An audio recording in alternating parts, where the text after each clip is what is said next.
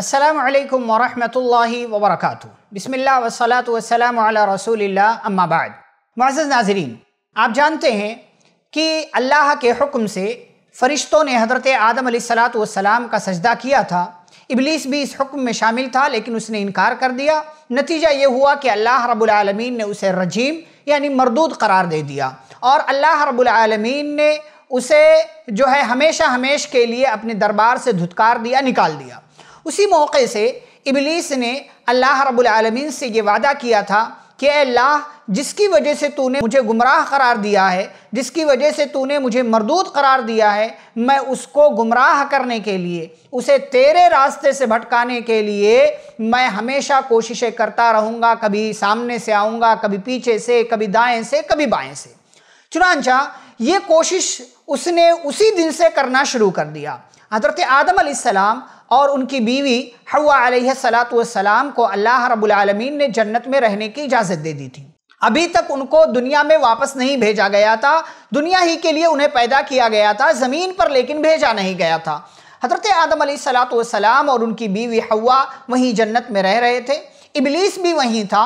अल्लाह रबालमीन की तरफ़ से इजाज़त थी कि आए आदम ए हुआ जन्नत में जहाँ चाहो रहो, जो चाहो खाओ, लेकिन इस दरख्त के करीब नहीं जाना। वला तकरबादी शजरत फतकूना इस दरख्त के करीब नहीं जाना, वरना तुम दोनों जालिमों में से हो जाओगे। इबलीस ने इन दोनों को बहलाना, फुसलाना, वरगलाना और गुमराह करना शुरू किया और इबलीस इन दोनों के पास आकर के कहने लगा, जानते हो कि अल्लाह ने तुम दोनों को इस दरख्त का फल खाने से क्यों मना किया है? मानहा कुमा रब कुमा अनहादी शजारती इल्ला अनतकूना मलकैनी औ तकूना मिनल खालिदीन। उसने दो फ़ायदे बताए। पहला फ़ायदा ये कि इस दरख्त का फल खाओगे तो फरिश्ता बन जाओगे। यानी यहीं पर हमेशा हमेश रहने का मौका मिल जाएगा।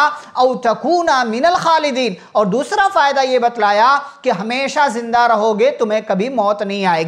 इस तरीके से इबलीस ने जाल बिछाया और उन दोनों को उस दरख्त का फल खाने पर उकसाया। नतीजा ये हुआ, फ़दल्लाहुमा बिगुरूर। उन दोनों ने उस दरख्त का फल खा लिया और फल खाने के साथ ही उनके जिस्म पर जो कपड़े थे, वो उतर गए और फिर उन्होंने दरख्त के पत्तों को तोड़ करके अपने जिस्म को छुपाना शुरू किया। ये मुकम्मल वाक़या है, मुकम्मल बात है। अब यहाँ पर चंद एक बातें। बाज़ लोग हमारे भाई ये कहते हैं कि सबसे पहले हवा ने इबलीस की बात मानी थी और यहीं से औरत को बुरा कहा जाता है कि अगर हवा ने गलती ना की होती तो हम जन्नत में होते। जबकि ये सरासर गलत बात है। अल्लाह रब्बुल आलमीन ने कहा है, ज़िक्र किया है कुरान फ़ाकला मिन्हा। उन दोनों ने उस दरख्त का फल खाया था। ना हवा ने पहले पेशकदमी की थी और ना ही आदम सलाम ने, बल्कि दोनों ने दरख्त का फल खाया था। यह पहली गलत फहमी है जो कि नहीं होनी चाहिए। दूसरी बात ये बहुत सारे लोग कहते हैं कि आदम और हवा ने अगर ये गलती ना की होती तो हम भी जन्नत में होते। जबकि ये बात मालूम होनी चाहिए कि इस गलती की वजह से अल्लाह ने उनको ज़मीन पर नहीं भेजा, बल्कि ज़मीन ही के लिए अल्लाह रब्बुल आलमीन ने इंसानों को पैदा किया था। इंसानों की तख्लीक, इंसानों की पैदाइश जो हुई थी, वो ज़मीन ही के लिए हुई थी। ये गलती एक वजह बन गई, सबब बन गई ज़मीन पर भेजे जाने की, वरना अल्लाह रब्बुल आलमीन ने इंसान की असल तख्लीक ज़मीन के लिए की थी। जैसा कि अल्लाह ने कहा था, इन्नी जाइल फिल अर्द खलीफा।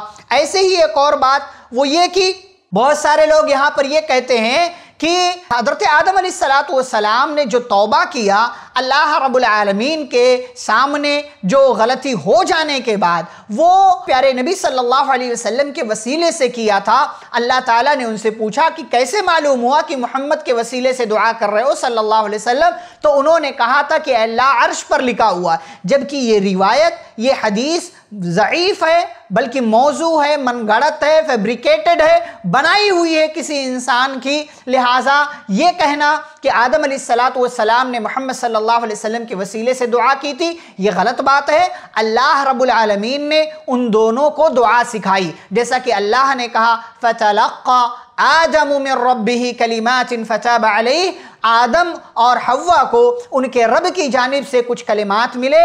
उनको कह करके इन लोगों ने अल्लाह से माफ़ी मांगी। वो कलिमात क्या थे? रबना वलमना अनफुसना व इल्लम तगफिलना व तरहमना लानकूनन्ना मिनल खासिरीन। ए हमारे रब, हमने अपने ऊपर जुल्म किया। अगर तूने माफ़ नहीं किया, तूने हम पर रहम नहीं किया तो हम यकीनी तौर से खसारा उठाने वालों में से हो जाएँगे। एक और बात कि इंसान में और शैतान में फ़र्क ये है कि इंसान से गलती हुई तो उन्होंने उस गलती पर अल्लाह से माफ़ी मांगी और इबलीस यानी शैतान से गलती हुई तो उसने अल्लाह रब्बुल आलमीन से माफ़ी नहीं मांगी, बल्कि उल्टा अल्लाह के सामने हुज्जत कायम करने लगा और अल्लाह से इंसानों को गुमराह करने का वादा किया कि अल्लाह मैं तेरे बंदों को गुमराह करूँगा।